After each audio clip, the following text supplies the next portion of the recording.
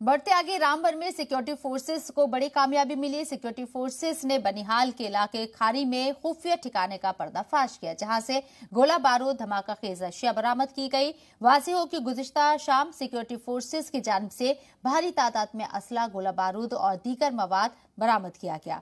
Police के मुताबिक जिला रामबन के जराये के हवाले से ये खबर मिली थी, जिसके बाद ऑपरेशन चलाया गया और फिर देर शाम सर्च ऑपरेशन के तहत ये कामयाबी हासिल हुई।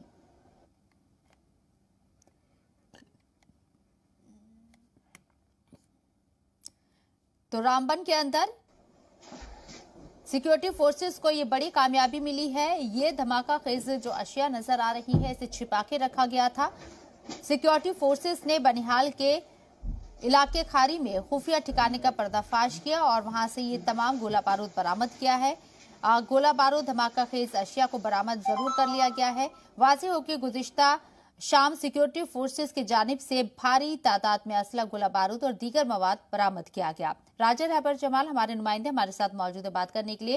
राजा रहबर जमाल आपसे समझना चाहेंगे, जो रामबन में सिक्योरिटी फोर्सेस ने जो बड़ी कामयाबी हासिल की है इनपुट्स मिले थे सिक्योरिटी फोर्सेस, उसके बाद छापेमारी की गई और इतने बड़े धमाका खेज जो अशिया है, उसको बरामद किया गया। बहुत बड़ा मंसूबा नज़र आता है वादी में अमन में खलल डालने का।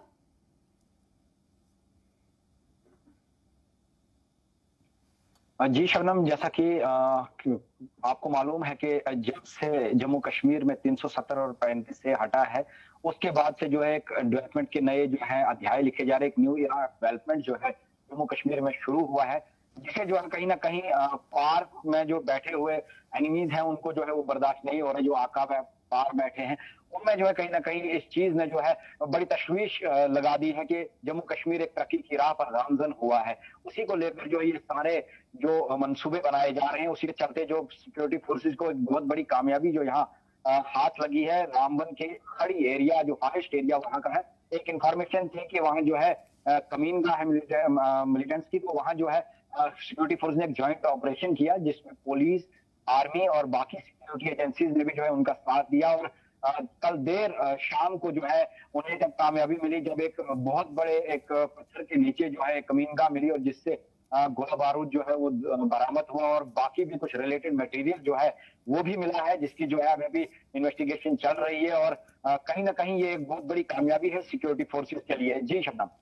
छिपाकर इन तमाम सामानों को रखा गया था सर्च ऑपरेशन चलाया गया, उसके बाद इतने बड़े जखीरे को बरामद किया गया। मेरा सवाल ये था कि सिक्योरिटी फोर्सेस ने जिस सामान को बरामद किया है, क्या इसके ज़रिए जम्मू कश्मीर को खासकर वादी कश्मीर की हम बात करें तो किस हद तक नुकसान पहुँचाने का मंसूबा था?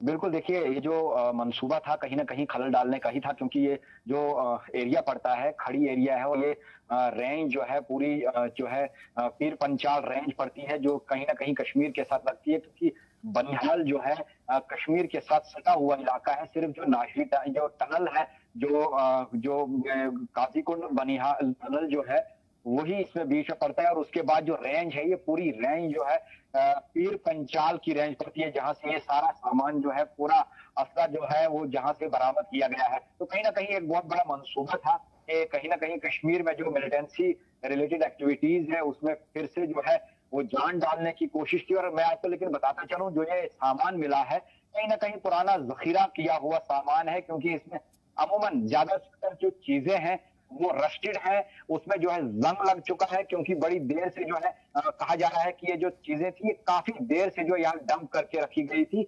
जी। लेकिन राजा राबर क्या ये एक्टिव मोड में है? इनका इस्तेमाल किया जा सकता था? देखिए, इसमें से मैं जैसा पहले भी कहा चुका हूँ कि इसमें जो है, जो सिक्योरिटी एजेंसीज ने जो हमें इंफॉर्मेशन दी है, जो उनका कहना है कि इसमें जो है मैक्सिमम चीज़ें जो है वो रस्टेड थी। इसमें जो है ज़्यादातर चीज़ें जो है वो खराब हो चुकी थी, लेकिन कुछ चीज़ें अभी भी जो है वर्किंग कंडीशन में थी।